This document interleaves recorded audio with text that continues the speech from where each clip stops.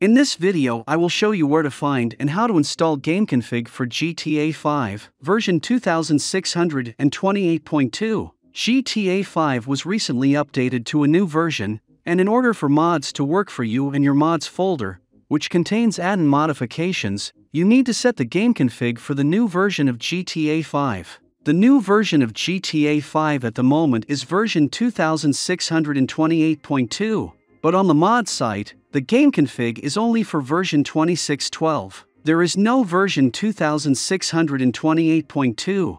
Everything is correct, because the update that recently appeared did not affect the update.rpf folder. This month's update only affected the second update 2.rpf folder, and there is no game config file in that folder. It looks like this update.rpf is file version 2612, but update 2.rpf is file version 2628.2. Therefore, in order for the mods folder to work for us, we need to install GameConfig version 2612 on GTA 5 version 2628.2. The old GameConfig works on the new version of GTA 5. In order to install GameConfig, you just need to download it from the site. Next, open the archive of version 2612.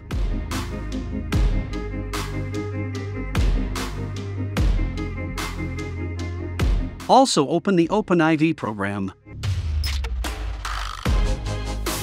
Turn on the edit function from above. And go to the mods folder and update.rpf folder. Then common and data, and here we just copy GameConfig version 2612.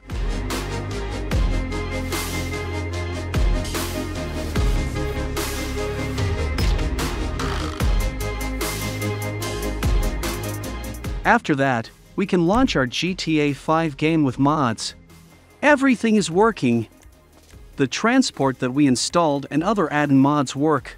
If this video helped you, please like and subscribe to the channel. Thank you all for watching.